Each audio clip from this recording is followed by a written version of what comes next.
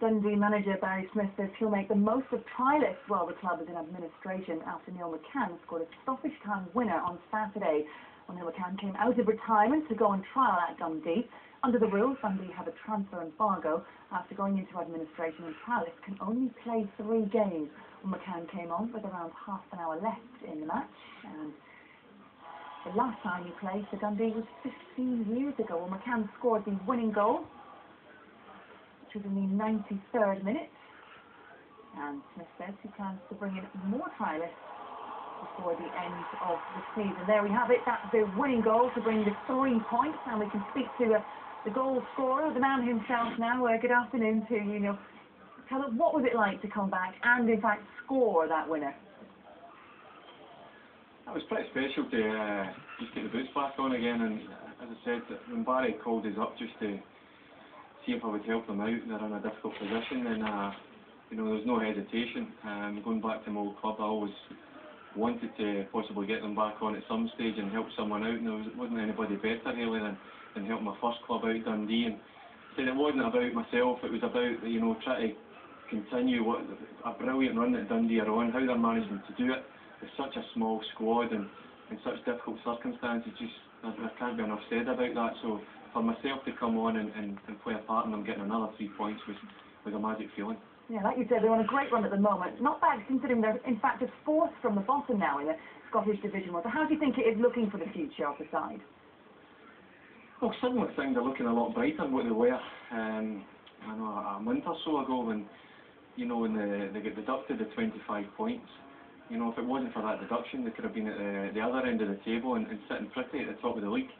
But you know, but what what they've done under that sort of you know circumstances and such bad luck, uh, as I said, is, is incredible. You know, they've got such a small squad. When I actually done a wee bit of homework before I went up to train with Barry uh, last week, and I was quite surprised looking on the, the old internet and the, and the pages at how small the squad actually was. So, you know, there was no hesitation, as I said, in going in and, and trying to lend a hand. Um, fitness wasn't a problem in terms of I've been keeping myself reasonably fit, but match sharpness is definitely going to be a problem. Having been over uh, a year and a half since I played the last time competitive.